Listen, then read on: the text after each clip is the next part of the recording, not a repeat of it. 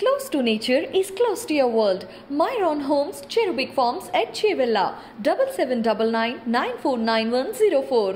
ప్రపంచవ్యాప్తంగా ప్రభాస్ కృతి సనన్ జంటగా నటించినటువంటి ఆది పురుషు ఈరోజు ఉదయం రిలీజ్ అయింది కరీంనగర్లో కూడా నాలుగు థియేటర్లో కూడా ఆదిపురుషు ఈరోజు ఉదయం రిలీజ్ అయింది. ఈరోజు ఉదయం ప్రత్యేకంగా ఆదిపురుషు బెనిఫిట్ షోలు కూడా వేయడం జరిగింది.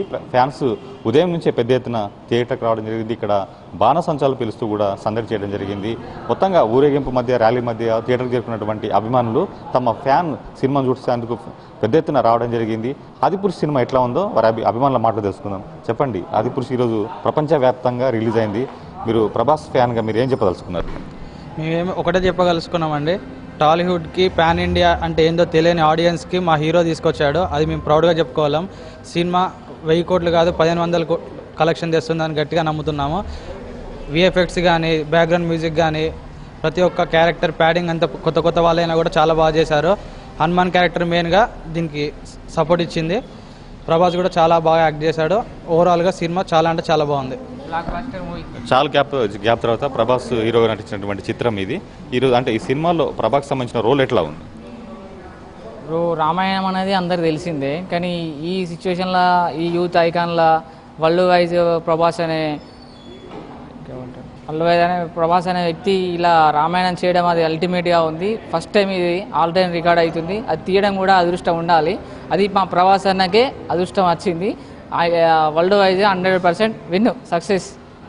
అంటే కథ రా- పాత కథ అయినప్పుడు కూడా దీన్ని ఎట్లా కొత్త విధానంలో కొత్త రకంగా ఏ రకంగా తీస్తారు ఆదిపురుషు కొత్త విధంగా అంటే మన ప్రభాస్ అన్న వచ్చేసి ఏదైనా కామెడీ అయినా రొమాన్స్ అయినా ఏదైనా మన ఎలాంటి మాస్ ఫిలిం అయినా ఎలా ఎలా అన్నిట్లలో చాలా బాగా చేశాడో ఇందులో కూడా చాలా బాగా మన శ్రీరాముణ్ణి పోల్చుకునే విధంగా చాలా మంచిగా నటించాడు. అలాగే హీరోయిన్ అయినా వాళ్ళ సైడ్ క్యారెక్టర్ హనుమాన్ క్యారెక్టర్ అయినా అందరూ చాలా బాగా చేశారు. మన కళ్ళ ముందు జరిగినట్టు చిత్రీకరించారు. చాలా బాగుంది మూవీ కూడా. అంటే ప్రేక్షకులకు నచ్చే అంశాలు ఈ సినిమాలో ఏముంటాయి? ప్రేక్షకులకు నచ్చే అంశాలంటే మన సాంగ్స్. సాంగ్స్ కానీ చాలా బాగున్నాయి. జై శ్రీరామ్ అనే మన అందరి ఫేమస్ పాట.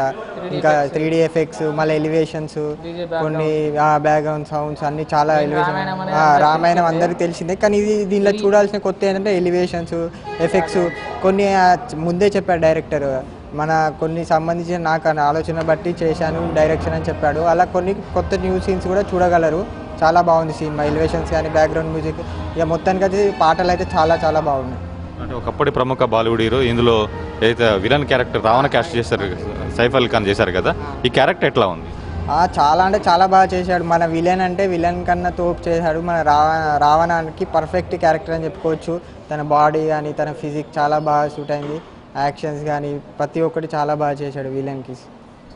అంటే బాహుబలితో కంపేర్ చేసుకుంటే కంపేర్ చేయగలమా? బాహుబలితో పోల్చుకుంటే సినిమా ఎట్లా ఉంది? ఆదిపురుషు బాగా ఏదైనా చెప్పాను కదా మన ప్రభాస్ అన్న ఏదైనా చాలా బాగా చేస్తాడు. అది బాహుబలికి బాహుబలి మన ఆల్రెడీ రాజమౌళి కూడా చెప్పాడు నేను క్యారెక్టర్ని బట్టి కాదు ఆల్రెడీ ముందే డిసైడ్ చేస్తా వాళ్ళని మనుషులను బట్టి కాదు డిసైడ్ చేశాను.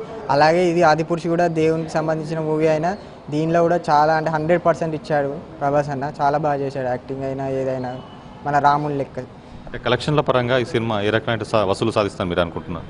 చాలా బాగుంది కాబట్టి మన బాహుబలి రేంజ్ దాకా బాహుబలి రేంజ్ దాటే అంటుంది. ఎందుకంటే రామాయణం కదా మన మన భారతదేశం హిందూ కాబట్టి చాలా బాగా నచ్చుతుంది. వేరే హిందూ నాన్ హిందూ అయినా చూస్తే వాళ్ళు కూడా నచ్చుతుంది. చాలా బాగుంది మూవీ ఇది మొత్తానికి ప్రభాస్ ఫ్యాన్స్ చెప్తుంది ఒకటే కథతో పాటుగా మొత్తం సినిమాకి సంబంధించి కూడా జై శ్రీరామ్ పాటతో పాటుగా కథాంశ కథం కూడా బాగుంది. అదేవిధంగా బాహుబలి కంటే పెద్ద హిట్ కూడా అవుతున్నటువంటి ఆశాభావాన్ని ప్రభాస్ ఫ్యాన్ వ్యక్తపరుస్తున్నారు. కెమెరామెన్ కిషోర్ కుమార్తో రామకృష్ణ ఐడ్రీమ్ న్యూస్ కరీంనగర్ నుంచి.